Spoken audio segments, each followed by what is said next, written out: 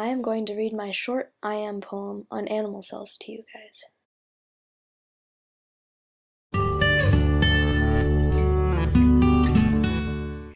I am a eukaryotic animal cell. I may be 1 to 100 micrometers small, but I still am important.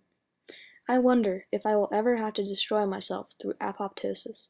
Apoptosis is like a self-destruct system that broken and infected cells use to destroy themselves completely.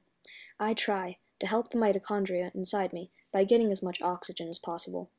Mitochondria changes oxygen into energy. Without the mitochondria inside me, I wouldn't have the energy to still be alive. I feel happy when I learn animal cells are self-sufficient. This means we have nanochemical factories. These factories help me generate what I need. For example, my Golgi complex can generate a cell membrane. I am a eukaryotic animal cell. I may be 1 to 100 micrometers small, but I still am important. This has been my I Am poem on animal cells. I hope you guys enjoyed.